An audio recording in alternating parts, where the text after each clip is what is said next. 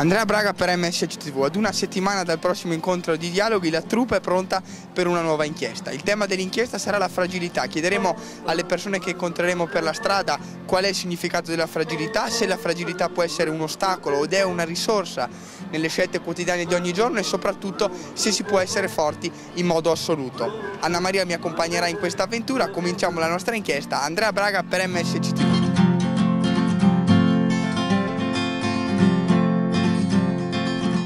Se ti dico fragilità, cosa ti viene in mente? Eh, con fragilità mi viene in mente una debolezza, oppure una scarsa capacità di riuscire a conoscersi, eh, quindi non è causata dall'esterno ma tanto da una questione interiore.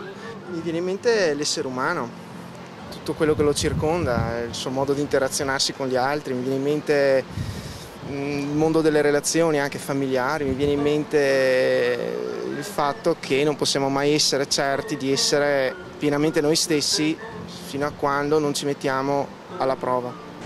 Significa non essere in grado di fare qualcosa eh, e di non prendere qualche decisione importante. Vuol dire avere un carattere che non riesce a, a sopportare le vicissitudini della vita e quindi si lascia andare e si deprime e, e non sa eh, come eh, diciamo, reagire alle vicissitudini di tutti i giorni. Beh, non affrontare molti problemi, eh, avere paura e non, so. eh, non, andare, non affrontare molti problemi e non, non nemmeno chiedere aiuto però, non so. Essere fragili significa non saper affrontare i problemi di ogni giorno. Essere fragili, principalmente essere deboli e arrendersi troppo facilmente. Essere sì, vulnerabili come lui. Significa non credere tanto in se stessi.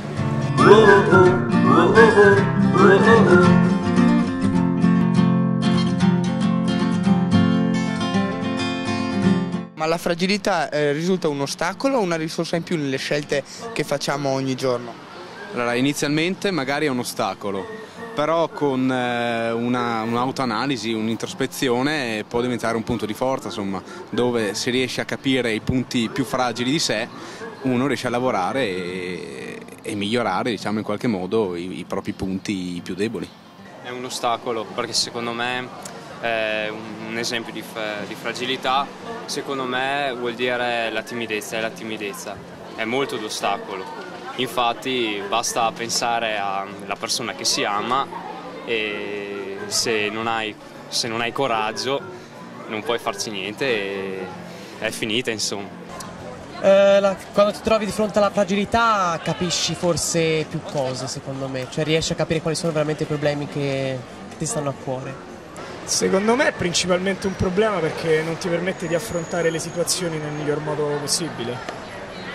Secondo me no, un, può essere anche un pregio, una risorsa da sfruttare. Fragilità è anche riflessione, quindi se usata nel miglior modo è una cosa buona.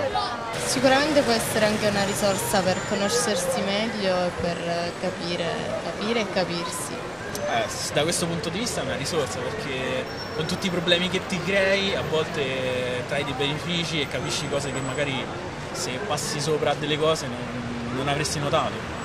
Eh, potrebbe essere un ostacolo come una risorsa, dipende dalle scelte che bisogna fare durante, cioè, nella vita, perché, perché se tipo sei troppo fragile magari ti limiti a prendere certe scelte e se invece però nello stesso momento ti può anche mm, rivelare utile perché mm, cioè, ti può evitare di farti prendere sceglie, sceglie scelte sbagliate durante la vita.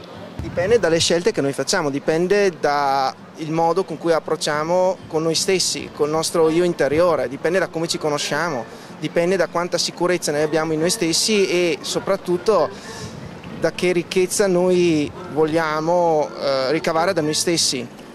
In poche parole, capirci, comprenderci, conoscerci, prima che capire gli altri, capire l'esterno, capire è solo così che possiamo avere le nostre forze, altrimenti saremo sempre precari, saremo sempre insicuri. Eh, dipende dall'età, eh, perché se è un bambino di 13-14, un ragazzetto di 13-14 anni, potrebbe anche essere, ma se ce n'ha 18, 20, 19 la cosa è un po' diversa, credo. La fragilità dice? No, non credo che sia una risorsa la fragilità, al contrario.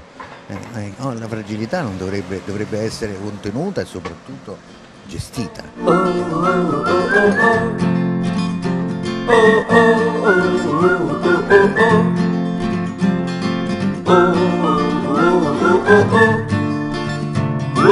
Fragilità è? È debolezza? Paura, timidezza. Umanità. Insicurezza. Risorsa forse. Debolezza. Fragilità.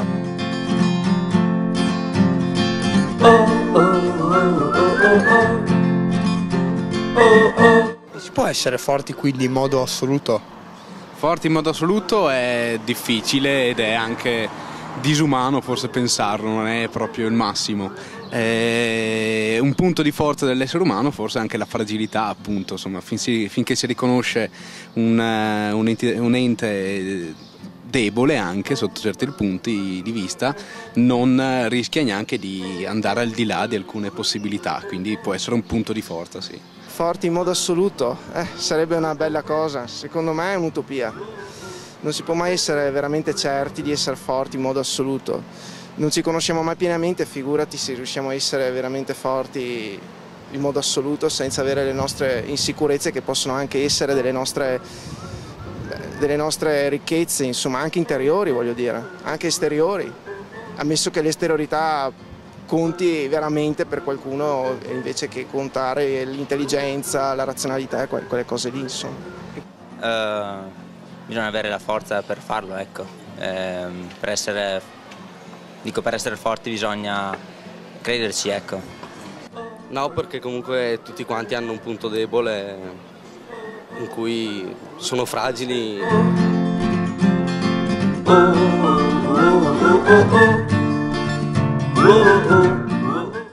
Siamo arrivati al termine della nostra inchiesta. Come abbiamo ascoltato dalle persone intervistate, la fragilità è stata ricondotta ad un aspetto importantissimo della sfera intima della persona umana. Molte persone però hanno detto che la fragilità è qualcosa di negativo, qualcosa che è legato alla debolezza dell'uomo, ma siamo forse sicuri che la debolezza e la fragilità siano sinonimi, che la fragilità sia sinonimo di paura o forse può essere che la fragilità sia veramente un elemento di risorsa per l'uomo legato alla sua vera umanità?